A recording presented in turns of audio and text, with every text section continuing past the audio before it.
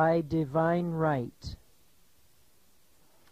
Recently, a good friend of mine told me that he had seen Yasser Arafat, the head of the Palestinian Liberation Organization known as the PLO, meet with the current Pope, John Paul II. And as Yasser Arafat, this terrorist, Arab terrorist individual who has a horrible reputation around the world, that Yasser Arafat knelt down and kissed the Pope's ring. And this very much surprised my friend because he said, Wait a minute, I thought Yasser Arafat was one of the enemies.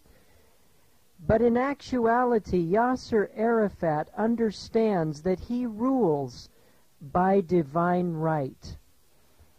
And every other leader, almost I would say almost every other leader in our world today, rules by divine right. Now, as this broadcast continues, you're going to understand exactly what that means.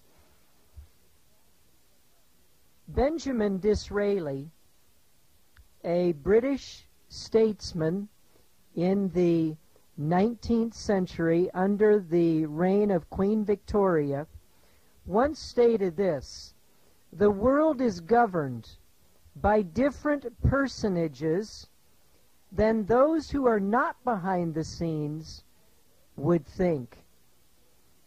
So Benjamin Disraeli made it very, very clear.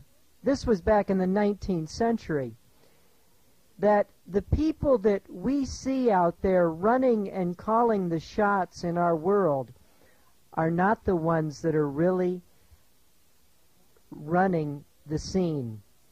They're not the ones who are really in charge of what's going on in the earth. They're simply front people, or as it were, choir boys. Before we continue any further in this tape, let us pray. Loving Heavenly Father, we thank you for this opportunity to understand lessons from history that help us to understand today. Please guide us with thy Spirit. Illuminate our minds and our hearts to do thy will and to live for thee. In Jesus' name, amen. In Brownson's review of 1851, this is a Roman Catholic periodical. In that periodical, it stated this The power of the church exercised over sovereigns is held by divine right, and whoso resists it rebels against the King of kings and Lord of Lords. So, according to this Catholic, Roman Catholic periodical of 1851, the Catholic Church controls all leaders by divine right. Now, what do what does the Roman Catholic Church mean when it says they control rulers by divine right? It means this: God entrusted this world, according to the papacy, into the hands of the Pope. And now the Pope, via his cardinals, he is the one that is to be in charge of the electing of all rulers. And if a ruler is not obedient to the Roman Catholic Church, then in the eyes of Rome, that ruler has rebelled against the King of Kings and Lord of Lords. So the concept of divine right simply declares that it is the Catholic Church's right to put kings in place and to drive them from office by a vote, by a sword, by a knife, by a poison cup, or by a leaden bullet. That is divine right. Now, probably the greatest illustration of divine right, by divine right, is mentioned in the book Great Controversy, page 57.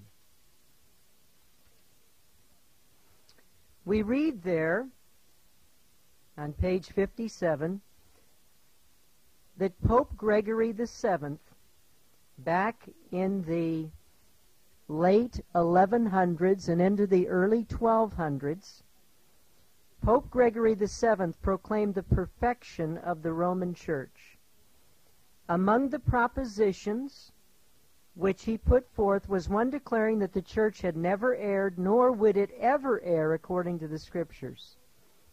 The proud pontiff also claimed the power to depose emperors and declared that no sentence which he pronounced could be reversed by anyone, but that it was his prerogative to reverse the decisions of all others.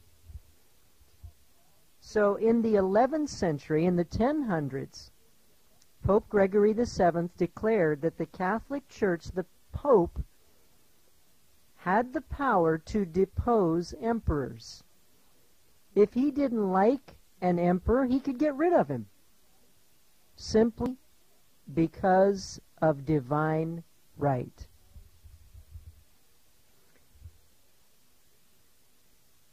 Now we find very, very interestingly enough that in the year 1065, King Henry IV of Germany got entangled in a controversy with Pope Gregory VII. Now, the Pope stated that only he could select bishops, priests, and abbots. However, Henry IV of Germany became very bold, and he selected some in the year 1075. Promptly, Gregory VII excommunicated Henry IV and released, by excommunicating him, he released all his subjects from obeying him. So, what the Pope simply did, what Gregory VII did, was he said, because this king has stepped out of his bounds and taken prerogatives that are only mine as Pope, Gregory released all of Henry IV's Catholic subjects from obeying the king. So those subjects could kill the king. They could tell him, I'm not going to follow what you say. And there would have been utter anarchy and ruin in Germany. Henry IV's nobles threatened him that they would not ex- recognize him unless he received forgiveness from the Pope. So what happened?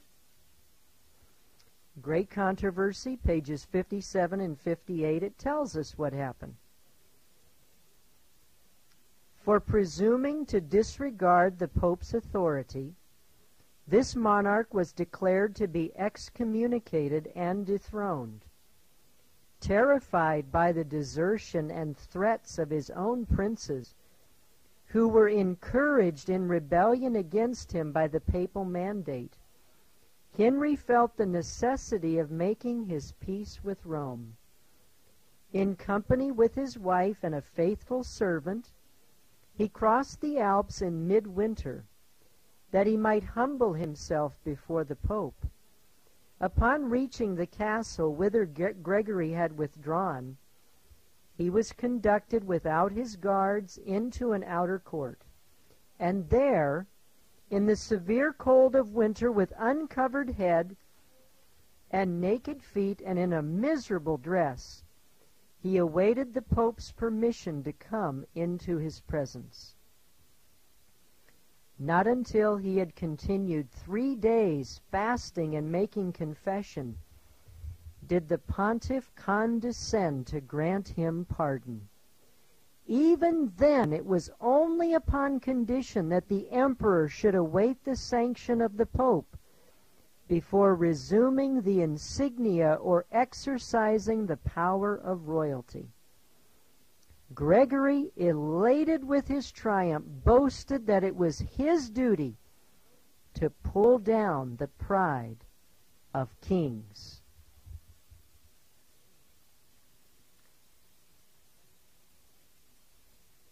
Now, the castle where Henry IV and Gregory VII met was a castle called Canossa. And the name Canossa has become synonymous with the submission of the secular power or of kings and presidents and rulers to the ecclesiastical power of Rome. And any time a leader is in abject submission to the Pope, a catchword that is used is simply canossa, which once again symbolizes submission of a ruler to the Pope. Now, Revelation chapter 13 and verse 3 says, and I saw one of her heads as if it were wounded to death, and her deadly wound was healed. And all the world wondered after the beast. In order for all the world to wonder after the beast, it would have to take place that every government, every leader had gone to Canossa. And that now all the leaders in the world are in subjection to the Vatican.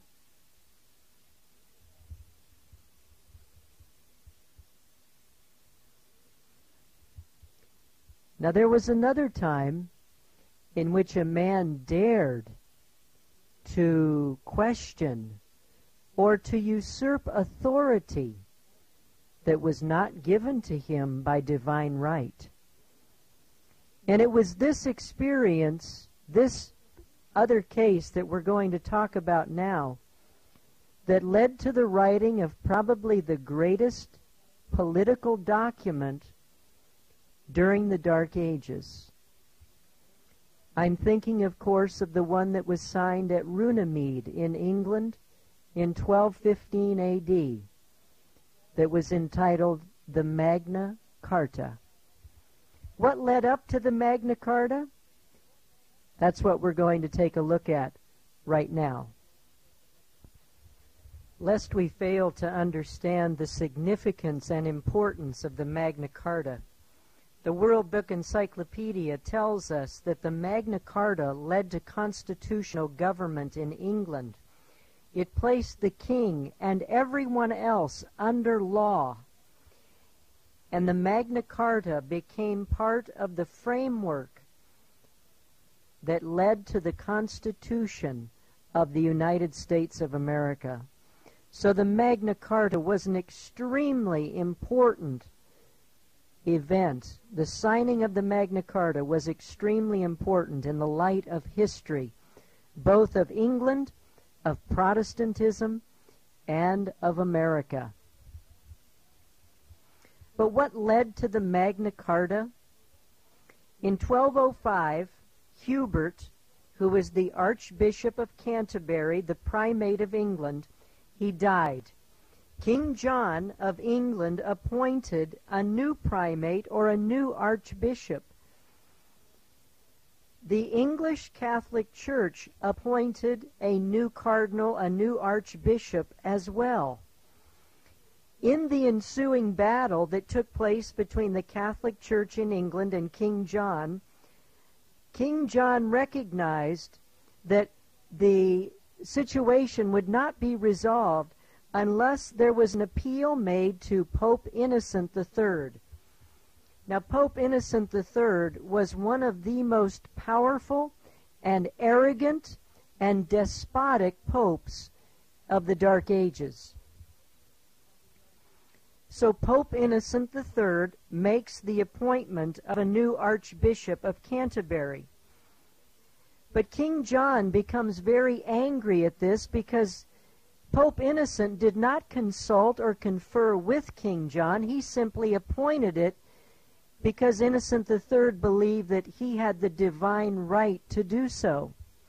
This angered King John very much because he realized that by appointing the highest church official in England, Pope Innocent III now was wielding power in England greater than even the king himself. And King John recognized very clearly that with this kind of power in England, Innocent III could even appoint a new king. With John in a great tizzy at, at this time, Pope Innocent III hits England with an interdict and then excommunicates King John. Now, these two events struck absolute terror into the heart of this English king, King John. When a country was placed under interdict, that meant that there could be no weddings, no funerals, no baptisms, no communion. The church doors would be closed, and this struck terror into the hearts of the people of England. Then, when Pope Innocent III excommunicated John, this meant that now all English Catholics no longer had to submit to their king. They could rebel, they could take him from his throne and depose of him.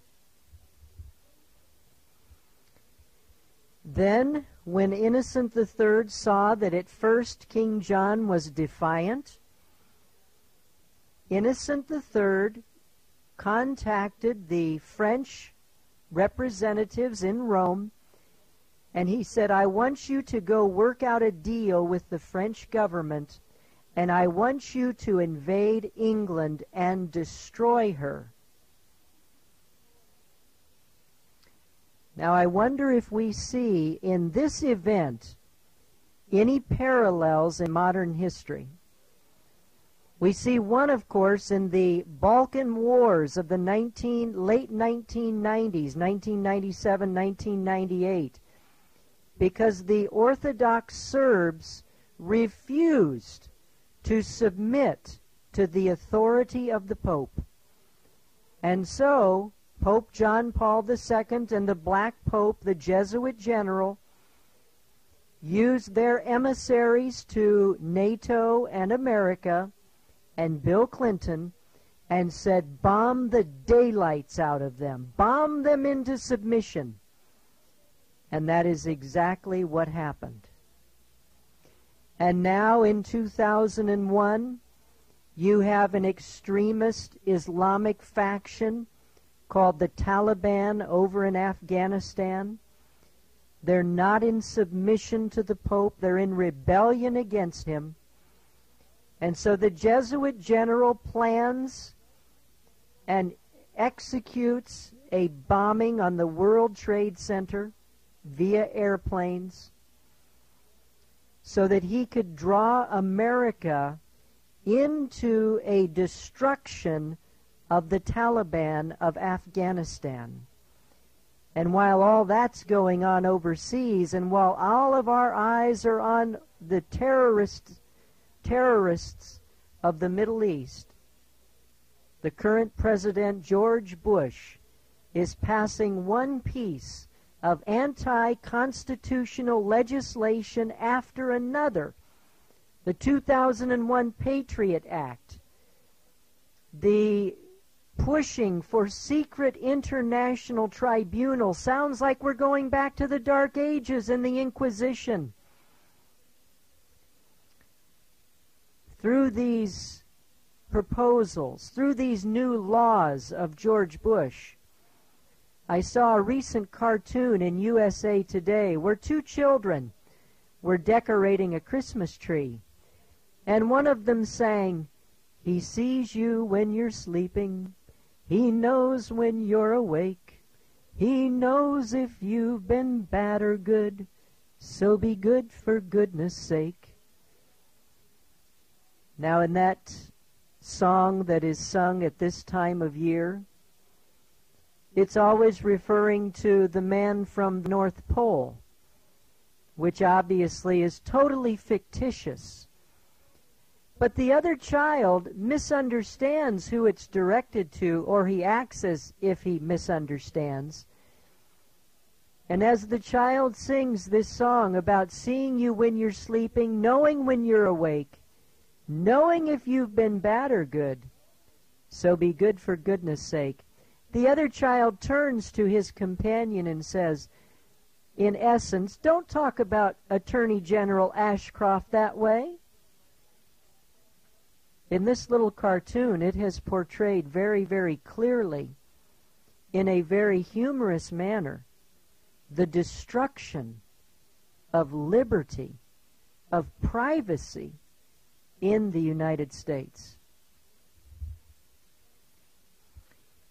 So Innocent III strikes England with interdict and then excommunicates John, then sends France to demolish England. By this time, King John has had enough.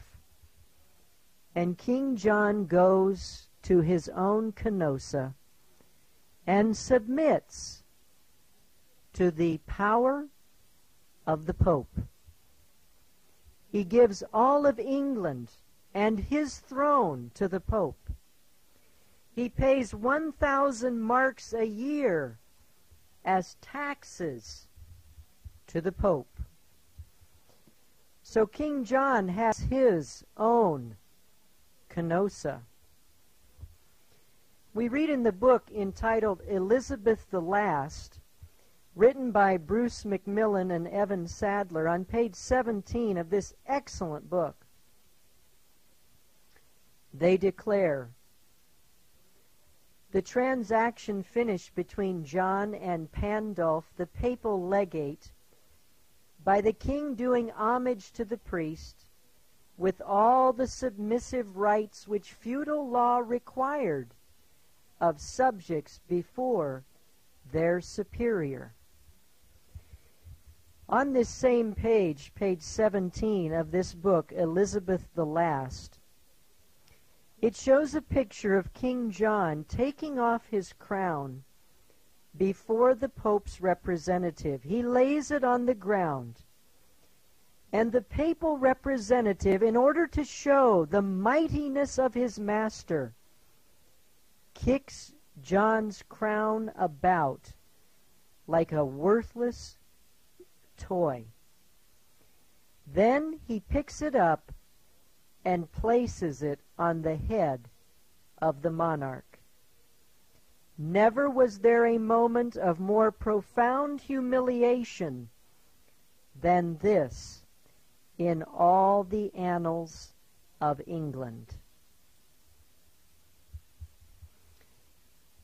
But there were other people in England who were not about to lay their country and their lives in submission to a foreign ruler. The English barons decided they would not be the slaves of the Pope, and they determined to wipe off the disgrace which King John had inflicted upon the country. Taking out their swords, they vowed that they would maintain English liberties. They went before King John in June of 1215 at a place called Runnymede, and they demanded that King John sign the Magna Carta. King John resisted, but the barons were undaunted by threats that he had no power to maintain. He had become a sickening vomit to the whole nation of England. And so King John, at Runnymede in June of 1215, signed the Magna Carta. By so doing, he told the Pope that he had revoked his vow of servitude and that he had taken back his kingdom. The Pope instantly launched an anathema against those impious and rebellious barons of England. Why?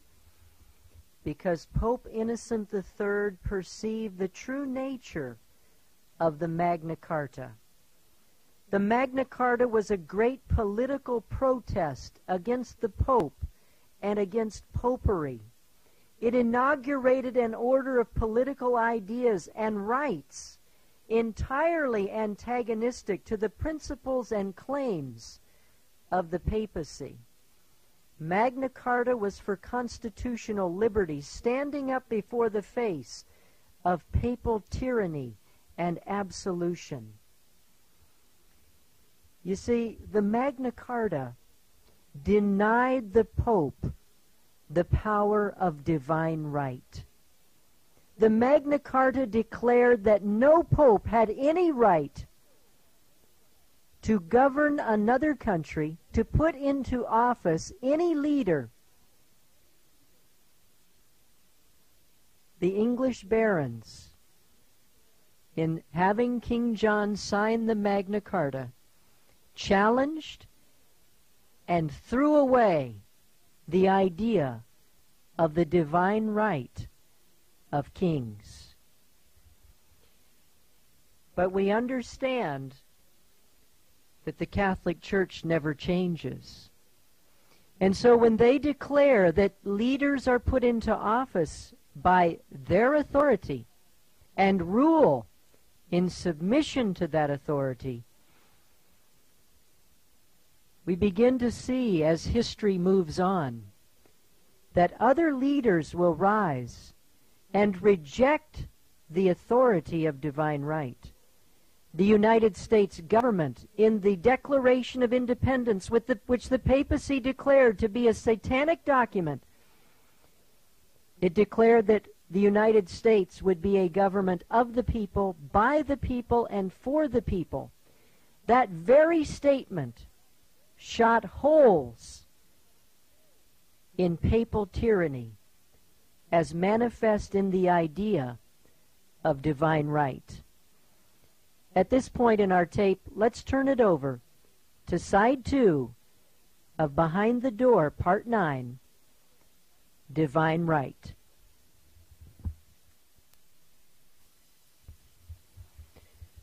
Like to welcome you to side two of this tape entitled Behind the Door, Part 9, or Divine Right.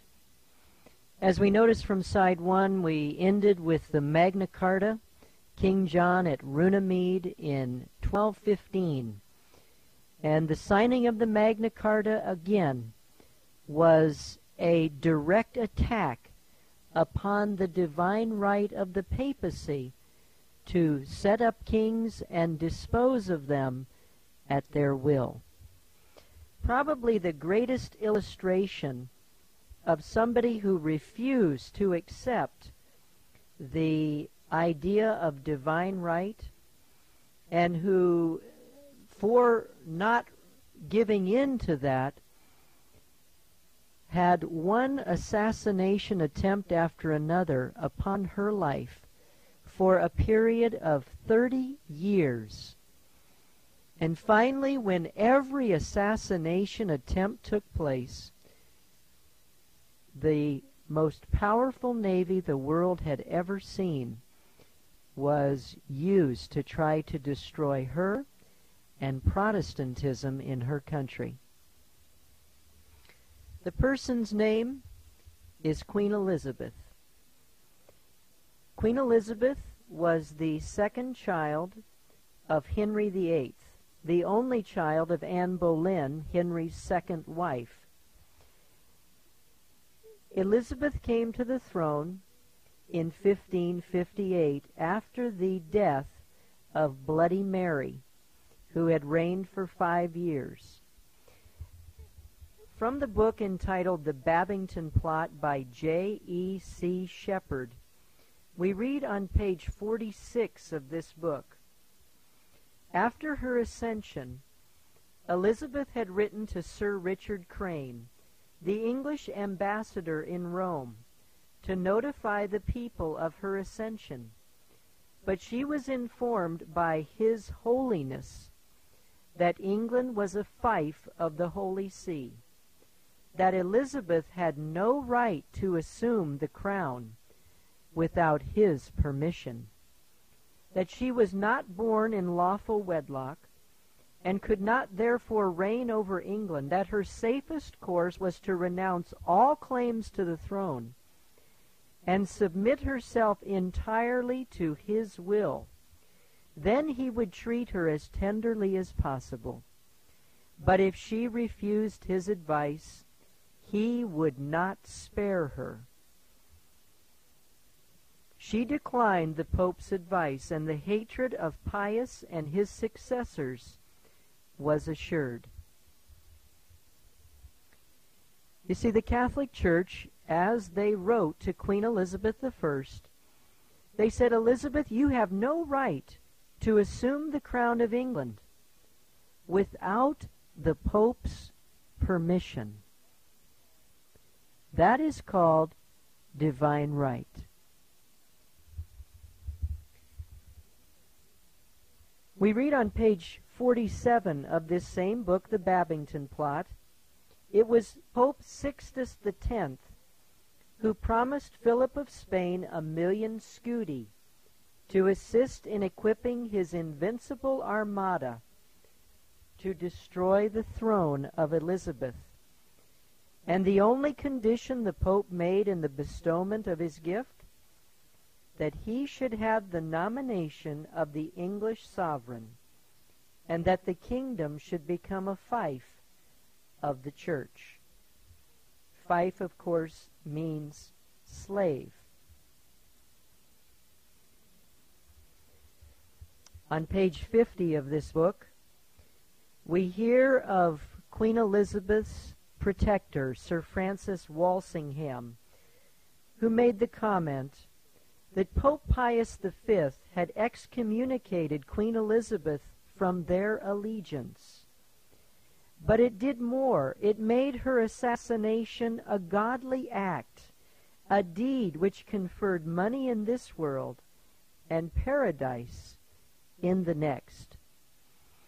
You see, we, we just do not comprehend as Americans, and we will pay for our lack of comprehension but we just do not understand or comprehend the evil and the wickedness and the murderous plots of the Catholic Church to destroy leaders and any other Protestant peoples who deny the authority of the Pope. So killing Queen Elizabeth became a godly act, assuring the assassin of paradise in the world to come.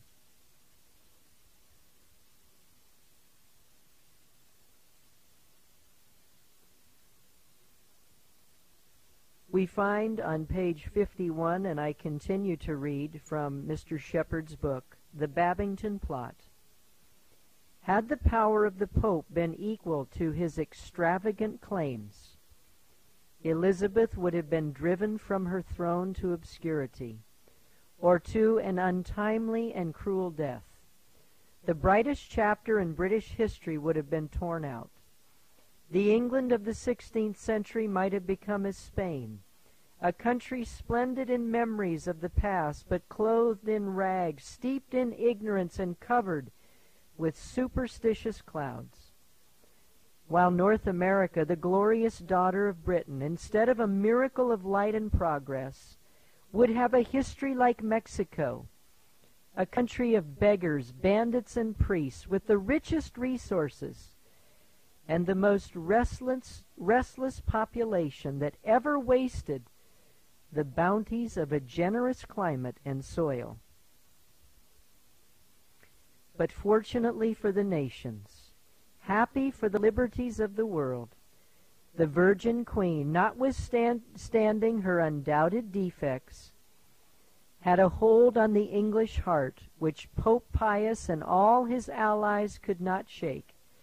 And her triumph over her enemies not only made her strong, but overwhelmed them with confusion and disgrace. Now we find in this book by Shepherd at least a dozen different names of Jesuit assassins who wanted to destroy and kill Queen Elizabeth because she refused the idea of divine right and of submission to Rome. One man's name was Roberto Ridolfi. Another, William Allen, Francis Throgmorton, Robert Parsons, Edmund Campion, Captain Forte, John Ballard, Nicholas Saunders, John Savage, Anthony Terrell, William Perry, John Hart, Thomas Barnwell, Thomas Morgan, and finally, Anthony Babington because Queen Elizabeth had such protection from the throne of God, she was her life was preserved. And finally in 1588 the Spanish Armada sailed up the northern coast of, Eng- of Europe to attack the little island nation of England. Through the intervention of God and the direction of Sir Francis Drake, the mighty armada became as kindling in the shores of the English Channel and the Atlantic Ocean. Divine right, something the papacy will kill if a leader does not acknowledge it. John F. Kennedy did not acknowledge, once in office, the authority of Rome. And as a result, he was assassinated November 22, 1963. As I look back over the 20th century presidents of the United States, from Teddy Roosevelt to George Bush, only one of those presidents in all that time refused to submit to Roman control, and that was John F. Kennedy. Every other president, if you study their policies, if you study their movements in Europe and other parts of the world, they used the United States military power and wealth to destroy one nation after another that refused to accept the authority of the papacy. And the United States throughout the 20th century has been used by the Catholic Church to pay back other countries who have hurt the Catholic Church and the Jesuit order in centuries past. We find in the 19th century this idea played out so clearly. We have noticed in other tapes that through the Monroe Doctrine, James Monroe warned the papacy of trying to take over the United States. And American presidents in the 19th century refused to submit to the authority of the papacy, and many of them paid dearly for it. Andrew Jackson, William Henry Harrison, Zachary Taylor, Franklin Pierce, James Buchanan, and finally Abraham Lincoln, James Garfield, and then in 1901 William McKinley. To show you the importance, again, of the idea of divine right, we read from Burke McCarty's book called The Suppressed Truth about the assassination of Abraham Lincoln. On page 44, she is talking here about William Henry Harrison, who was elected President of the United States in 1841.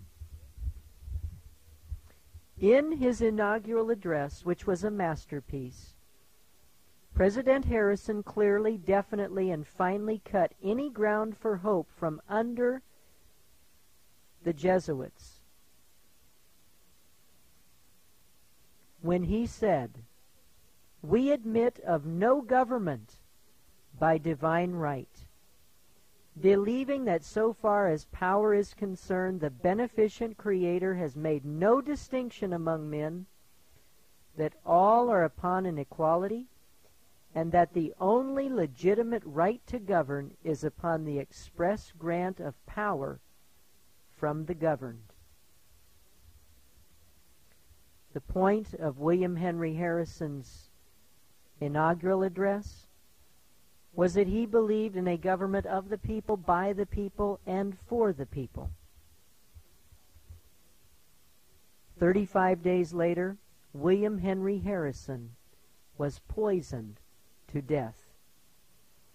He refused to submit his presidency into the hands of the reigning pope at that time, and 35 days later he was dead. We have seen this throughout history. First, the English barons opposed it. Elizabeth I. And now, before we close, I want to take a look at one other man who sought to rule free from Roman power. His name was Otto von Bismarck. His country was Germany. The time was the 19th century.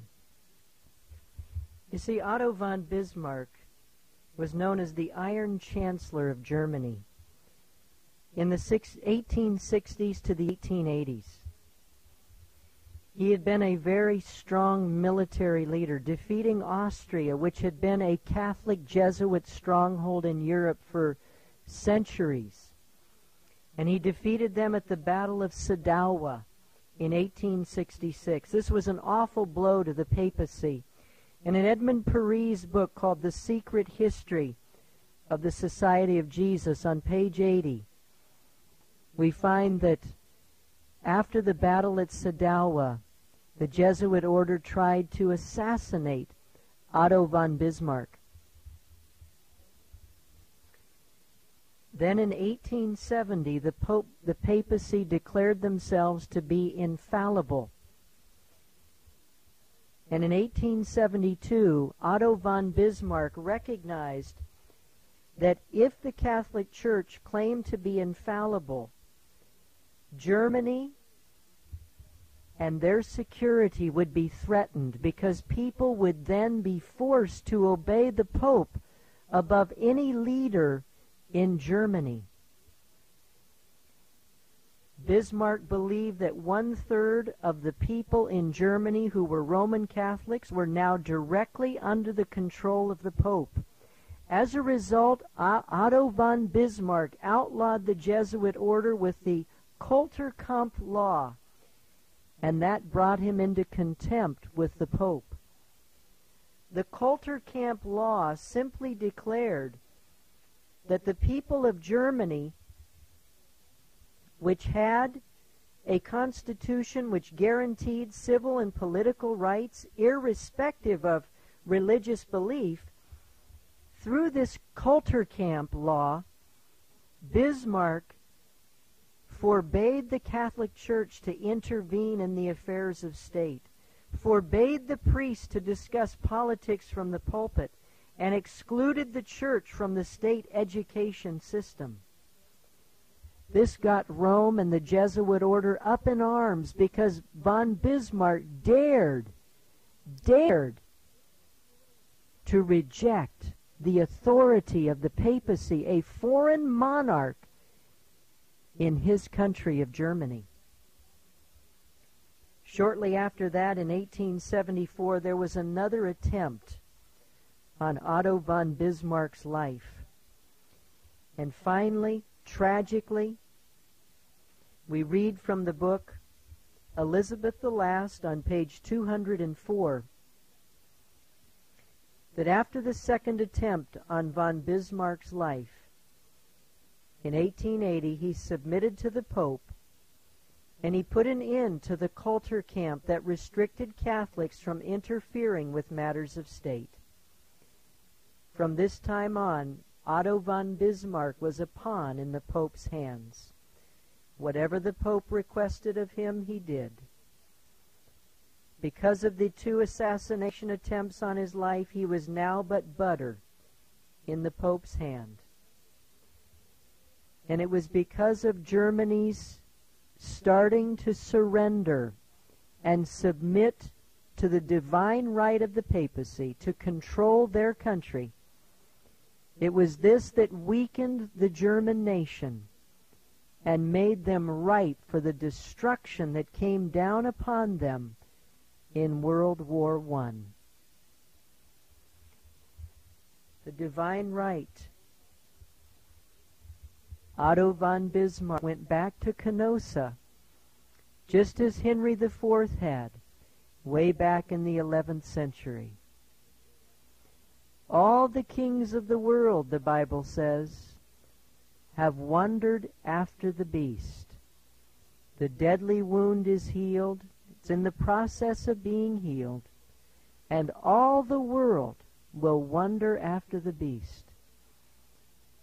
I see even in the terrorists and the battles that are raging right now, once again the Taliban, as extremist Muslims, rejected the divine right of the Pope to interfere in their affairs. And so now the papacy is using the United States to annihilate them.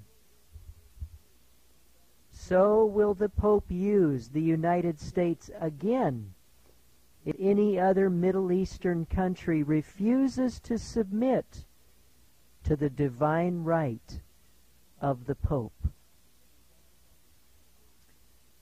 May God help each one of us to forever refuse to submit to the divine right that is not a divine right at all, but a usurpation of the devil to try to gain control of the world. May God bless and help each one of us to only submit to the divine right of the Lord Jesus Christ who alone has the right